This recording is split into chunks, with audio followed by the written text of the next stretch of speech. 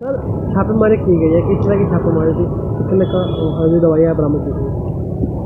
ये छापेमारी मंसूरपुर थाने में कुछ एल्प्रेक्स और गवर्नमेंट सप्लाई की दवाएँ नरा के एक मेडिकल स्टोर से पकड़ी गई थी।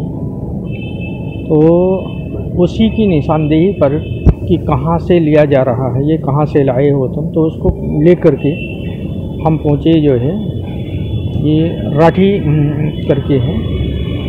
वहाँ गांधी कॉलोनी में। उसी के बगल में जो है उसका घर है गौरव अग्रवाल।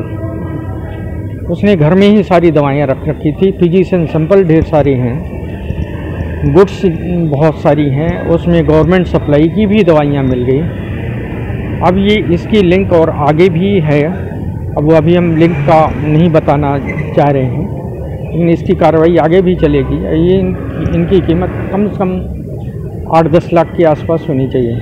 कौन कौन सी दवाई से ज़्यादा मिली है? ये एंटीबायोटिक ज़्यादा हैं और भी जनरल मेडिसिन भी हैं एंटीबायोटिक्स भी हैं।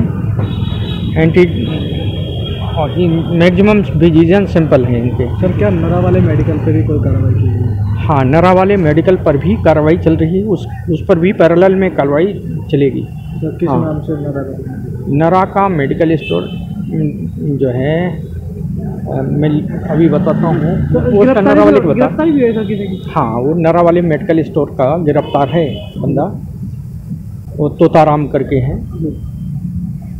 वो गिरफ़्तार है ऑलरेडी जो सर जो यहाँ पे की गई है गांधी गांधी कॉलोनी में यहाँ यहाँ अभी फरार चल रहा है।